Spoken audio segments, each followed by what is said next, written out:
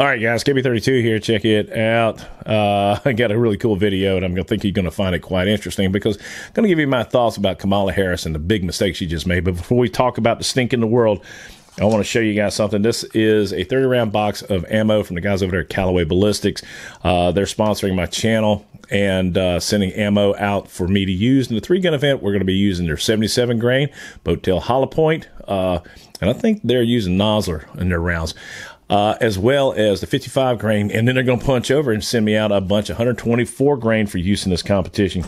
Which, believe me, I've been kind of slack putting videos out, not making the money on YouTube we should be doing, uh, which means I got to put out some of my own money. Oh, poor old me.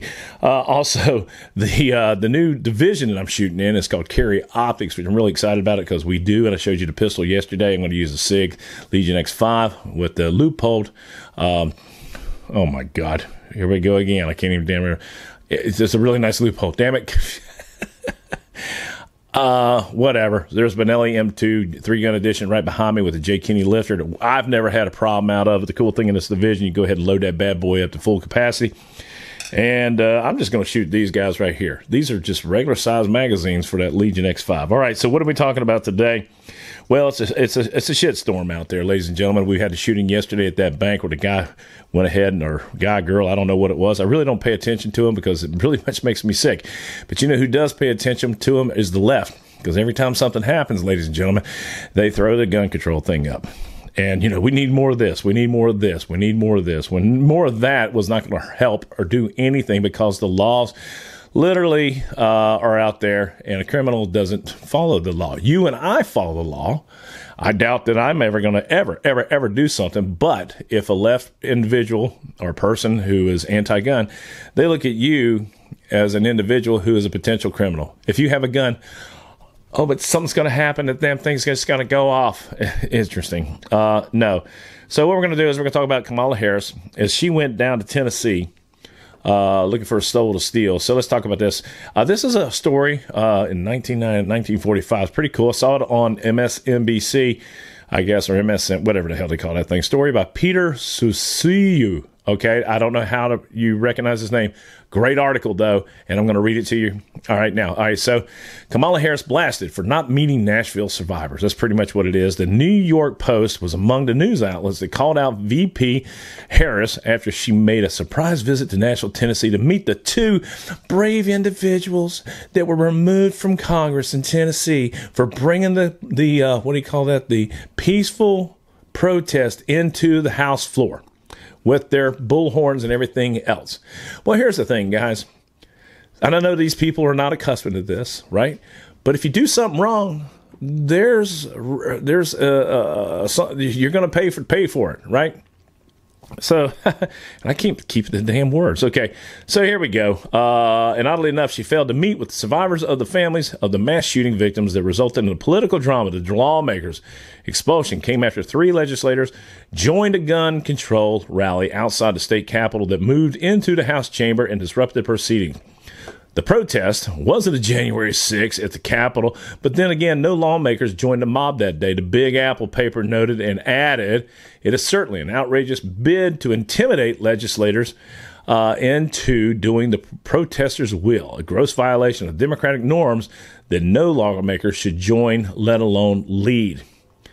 So you got people out there trying to do business on the floor, and these jackasses, because they feel empowered, they feel like they can do anything without any retribution or anything else happening to them. There's nothing to pay. So they're going to go in there and they're going to chant up, they're rat up, and you know, with their peaceful protest that they normally have, the peaceful protest.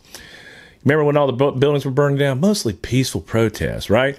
Uh, it's like that little swimmer girl, Gaines, when she got held up there, and I can't remember what it was. It was uh, University of San Francisco or something, and they basically kept her in a room and they wouldn't allow her to leave because it was mostly peaceful protests. You know what? Did you just need a throat punch is what needs to happen. Sorry. Of course, some Democrats see difficulties in an attempt to push the gun control agenda forward. Following a mass shooting, the two expelled lawmakers, along with the third who also joined the protest but beat the expulsion by a single vote, were invited to the White House. Those jackasses were invited. I guess they. What the hell's going on here? Oh, I'll show you what's going on here. Ammo cases. All right, so I guess these assholes are really so brave. They did such a great thing that over it it oversights the uh, the guys that went into that school to face that killer. They set the example on how things were supposed to roll. They picked up the gun and they went in and they did their duty as they should have, and they kicked ass and they took names and kudos to you guys. That led to an outrage as White House is seen to essentially ignore the family's victims as well as the two hero police officers who stopped the massacre by being far worse than the charged into the building and took down a shooter, Audrey Hale, which by the way was a woman, trying to act like a guy. Shooting a damn Keltec 2000, which we all know is not an assault weapon, right? Kamala Harris met outside the ousted lawmakers Justin Jones, Justin Pearson, and Gloria Johnson at the Chapel of Fisk, a historically black college. Because you know, and I don't want to get into the thing, but they, they forced me to. Kamala Harris is a woman of color. Yes, she has really seen the, the horrors in the world. We are here because they're colleagues, and we are here because and their colleagues in the Democratic caucus chose to show courage in the face of extreme tragedy.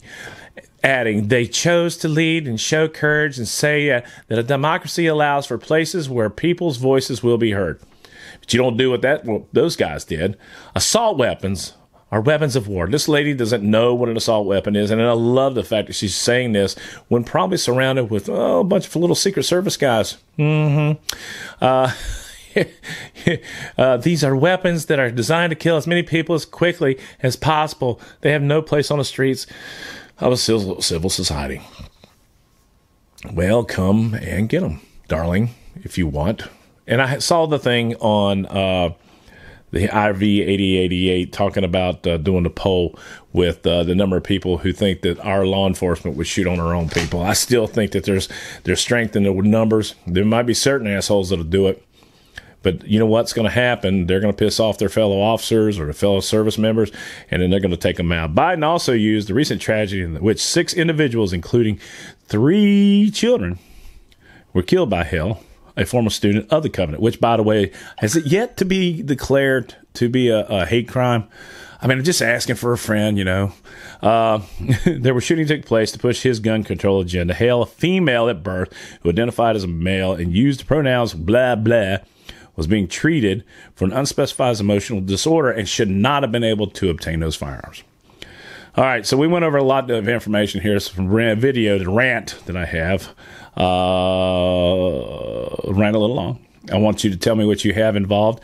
Uh, I'm really excited. Uh, I've got uh, heading up to North next week. We're going to be doing some shooting. Yes.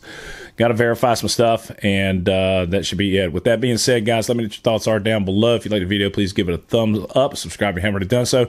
We always end them like this. God bless America. God bless men, women in uniform 24 7 for our freedoms. Freedom is not free. Go shooting today. Get your stuff ready. These jackasses, they have no clue. They do not care about you. Y'all be good. I'm out here. Boom.